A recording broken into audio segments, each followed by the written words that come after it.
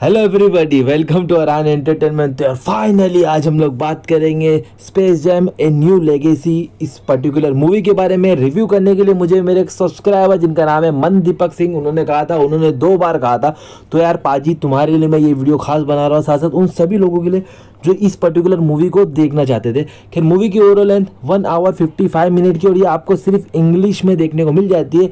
Movie में हमें नज़र आते हैं लेब्रॉन जेम्स जो कि रियल लाइफ में एक फ़ेमस बास्केटबॉल प्लेयर है और वो इस मूवी में मेन लीड में नज़र आते हैं और वो अपना प्रोफेशनल काम ही यहाँ पर कर रहे हैं। यानी कि वो यहाँ पर एक बास्केटबॉल प्लेयर ही है।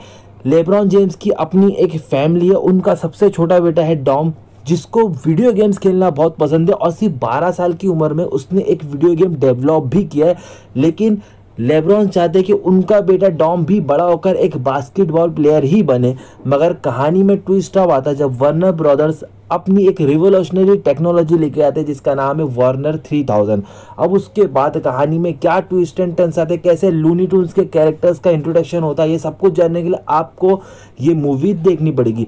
खैर, अब बात करें इस मूवी के कॉन्सेप्ट की तो I was very very very very very very very much excited for this particular movie लेकिन पता नहीं क्यों जब इसका मैंने ट्रेलर देखा था तो वो जो एक्साइटमेंट लेवल है, वो पूरी तरह से ख़त्म हो गया था और मैं फिर उसके बाद ये मूवी देखना बिल्कुल भी नहीं चाहता था। लेकिन जब मैंने मेरे सब्सक्राइबर भाई के लिए ये मूवी को देखा तो जो एक शक था इस मूवी को लेकर, वो शक सही में साबित हो गया। मूवी का जो स्टार्टिंग का हाफ़ एन आवर है, वो बहुत ही अच्छा है, लेकिन उसके बाद मूवी बहुत ही ज़्यादा पैथेटिक है। यानी कि जब वो आर्टिफिशियल इंटेलिजेंस वाला जो प्रोग्राम है, वो प्रोग्राम स्टार्ट होता है, यानी कि वो जो एनिमेशन वाला पोर्शन स्टार्ट होता है, जब हमारे लूनी टूम्स के कैरेक्टर का इंट्रोडक्शन होता है, उसके बाद मूवी ऐसी हो जाती है जो मतलब मैं आप लोगों को यहाँ पर वर्ड्स में बता भी नहीं सकता। एक ऐसा दो घंटे का सर दर्द जो आप लोग इमेजिन भी नहीं कर सकते, जो मैंने बर्दाश्त किया है। बहुत सारे लोगों को ये मूवी अच्छी भी लगेगी, लेकिन seriously I didn't enjoy any scenes of this particular movie मैं बचपन में लूनी टून्स के शो को बहुत पसंद करता था और कार्टून नेटवर्क पे यार मैं हर एक शो देखता था। मैं आपको क्या ही बोलूँ। और मुझे आज भी याद है कि मैं रोड रनर शो कितने शौक से देखता था। लेकिन आज ये पर्टिकुलर मूवी देखा और मेरे वही फेवरेट लवेबल कार्टून कैरेक्टर्स देखा तो देख खुशी भी हो रही थी। लेकिन इतनी गंदी तरह से इस मूवी में उनको सेट किया है कि क्या ही बोलूँ यार। और एक चीज़ जो इस मूवी में मिसिंग लगी वो थे फन कॉमेडी बचपन में जब कार्टून देखते थे तो हम लोग एनिमेशन की वजह से भी देखते थे तो साथ साथ हमको हँसी भी आती थी बहुत सारे इन कैरेक्टर्स को देख के। लेकिन यहाँ पर वो जो हँसी है, वो गायब थी, वो मुझे मज़ा नहीं आया। और अगर कैरेक्टराइजेशन की बात करें तो देखो लेब्रॉन जेम्स और उनकी फैमिली के बीच में जो जो चीज़ें चल रही है पर्टिकुलर लेब्रॉन जेम्स को भी कैरेक्टर को इतनी अच्छी तरह से यहाँ पर नहीं लिखा है, जो हम लोग कहीं ना कहीं कनेक्शन बना पाए और बाप बेटे के बीच की जो एक छोटी बड़ी नोक जोक है, वो हम लोग फील कर पाए, वो कहीं ना कहीं मिसिंग था, जो मुझे बहुत ही इरिटेटिंग लग रहा था।